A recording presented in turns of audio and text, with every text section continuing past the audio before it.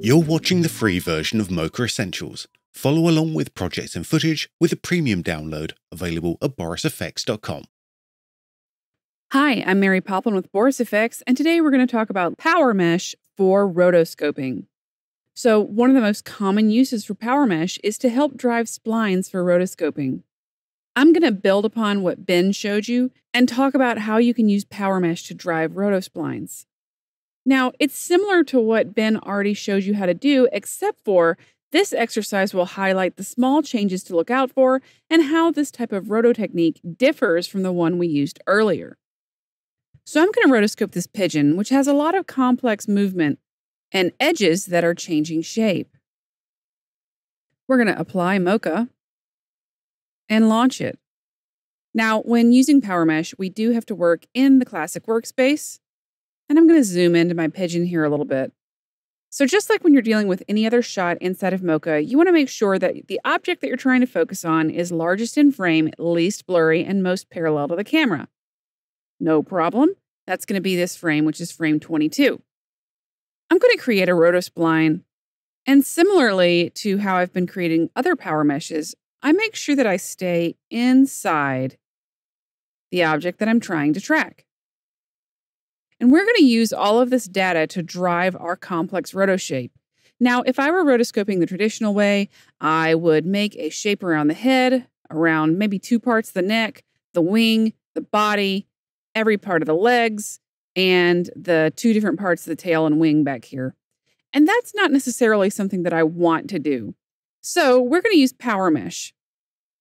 I'm going to turn perspective and mesh on, and I'm going to use automatic generation mode. Now, I am actually going to cut this down to about 15, use adaptive contrast, and generate the mesh. And this way I get a lot of data to work with. I played around with a bunch of different settings, and 10, 15, 20, those are all good settings for this pigeon. We're going to track backwards, and we're going to track forwards. And notice how Power Mesh is really capturing the complex motion of this bird. What would normally be handled in a whole bunch of overlapping roto shapes is now handled in one single roto shape. I feel like I'm losing the beak a little bit, so what I'm actually going to do is pull this roto shape out to grab the beak and track backwards. And notice how I also pulled one of the power mesh vertices out as well. As with any shot in Mocha, you can always go back and change your shape and change your track. I'm going to call this Pigeon Roto, and I'm going to turn off my power mesh. On the frame that I created my original roto shape on, I'm just going to adjust my roto back to the outside edges. I'm going to use my Add Points to Spline tool.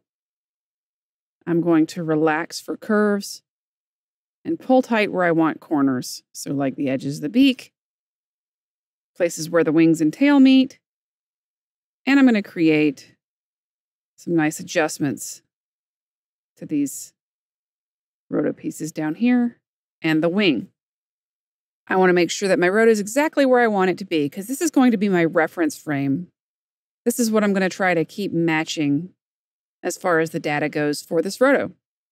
I'm going to turn the gear off because we don't need to track it anymore. And I'm going to use the track that Mocha created to try to make an overall correction over this entire roto shape. So I'm going to go to my last good frame, which is here. And we're going to start adjusting this roto shape. So just like Mocha, when you're using just planar tracks for rotoscoping, I want you to think of using these subplanar tracks that we use inside of the Power Mesh tools as a roto assistant. It's not going to be perfect, but what it will do is help you cut way down on the amount of keyframes that you're creating. So now we're going to just do a quick correction to this roto here. And we're going to go to the end and see what we can get away with.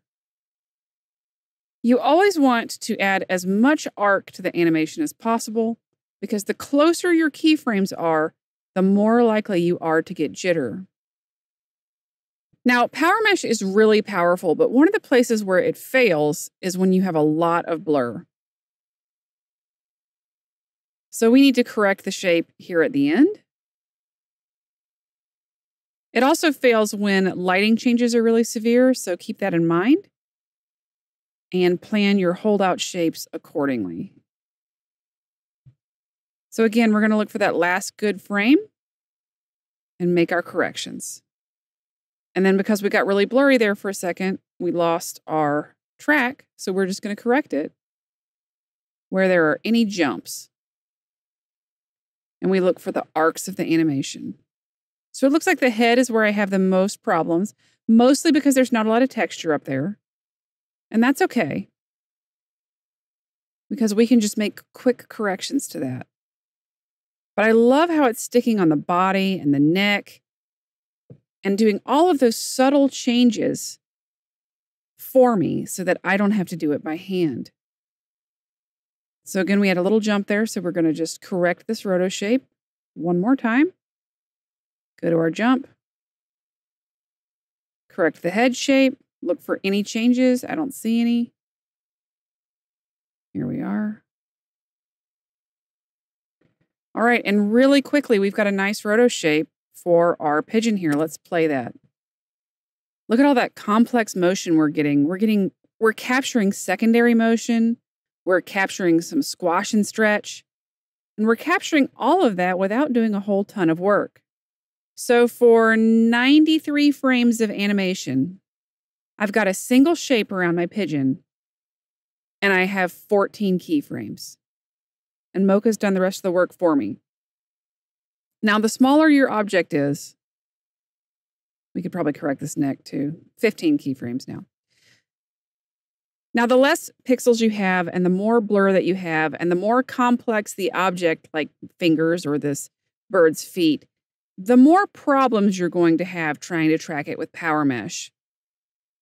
So, we talked about what frame to start on for warped splines and how rotoscoping with Power Mesh is different than traditional roto. We also talked about things to look for when you're using a warped spline. But we're not done with this lesson. We're going to move on to Power Mesh for Rotoscoping Part 2. You've been watching the free version of Mocha Essentials. To download all videos, projects, and footage, purchase the premium version available at borisfx.com.